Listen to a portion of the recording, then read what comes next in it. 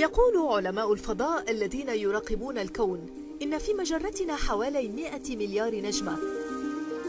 فيما يقدر أطباء الأعصاب أن في دماغنا العدد نفسه من الخلايا العصبية. ويمكن القول إن ما نجهله عن مجرتنا يكاد يوازي ما نجهله عن الدماغ البشري.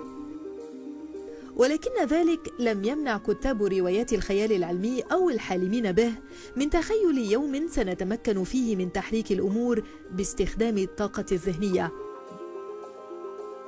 أو من التواصل فقط عبر الأفكار. ولكن هذه الأحلام بدأت تتحقق اليوم بفضل ما يعرف بالآلات الخاضعة لسيطرة الدماغ أو تكنولوجيا التواصل عبر الخلايا العصبية. فكلما فكرنا أو تحركنا أو انتابنا شعور معين أو تذكرنا أمرا.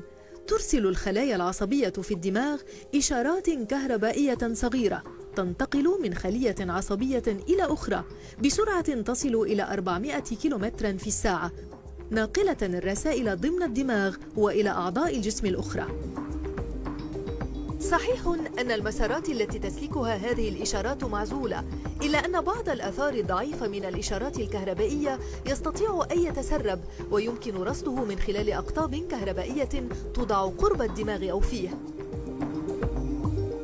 عندما يريد اللاعب أن يركل الكرة يرسل الدماغ إشارات كهربائية إلى العضلات المسؤولة عن إتمام هذه الحركة.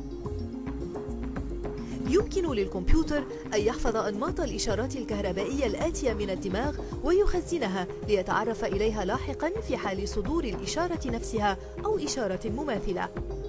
وهكذا يمكن برمجة الكمبيوتر ليتجاوب وينفذ الأوامر التي يتلقاها من دماغ شخص معين.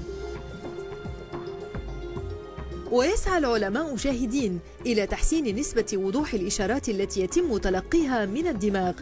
والطريقة الأسهل تتلخص في وجود عدد من الأقطاب الموصولة بالرأس.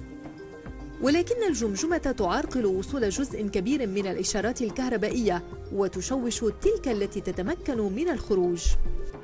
إلا أن العلماء تمكنوا من زرع الأقطاب مباشرة في الدماغ للحصول على إشارات أكثر وضوحا وهذا ما يسمح بتلقي الإشارات الكهربائية بشكل مباشر ويسمح أيضا بوضع الأقطاب في منطقة محددة من الدماغ حيث تصدر الإشارات المقصودة. وتتنوع إمكانيات استخدام هذه التكنولوجيا من الترفيه أو التحكم بألعاب الواقع الافتراضي على الكمبيوتر وصولاً إلى إتاحة الفرصة أمام الذين يعانون من إعاقات بالغة ليستعيدوا التواصل مع العالم حولهم ويشاركوا في مجتمعهم من جديد.